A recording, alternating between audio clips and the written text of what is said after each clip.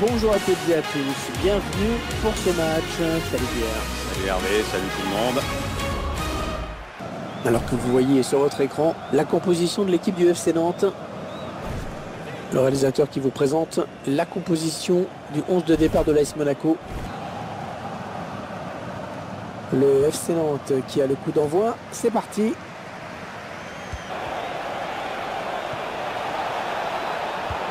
Ouais, c'est bien centré parce qu'il y a du monde. Oh, superbe intervention du gardien. La tête était très bien. Guido Carrillo. Marcos Lopez. Le centre vers ses coéquipiers. Oh, on a failli assister à l'ouverture du score. Ça part bien, action dangereuse. Il porte le ballon. Ouais, la frappe. Le gardien qui gagne son duel face à la l'attaquant. Le centre, il a vu ses coéquipiers. Un ballon facile pour le gardien. Ah, c'est dangereux euh, avec cette tête.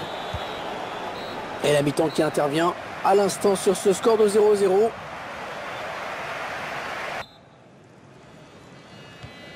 Allez, c'est parti pour la seconde période. Le ballon est monégasque.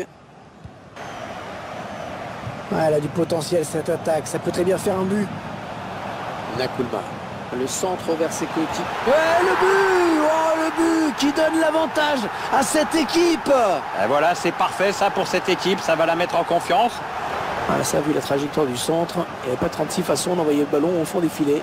Ah, ça, une tête plongeante, Hervé, c'est toujours à l'instinct. Hein. Radamel Falcao. Oh, il y a du monde autour de lui. Allez, il faut qu'il fasse le bon choix.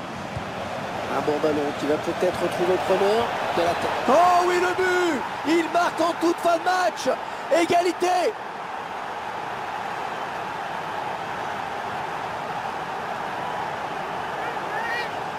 Un but qui permet au Monégasque de recoller au score à, quelques minutes hein, du coup de sifflet final. Ça nous promet maintenant une fin de match euh, palpitante.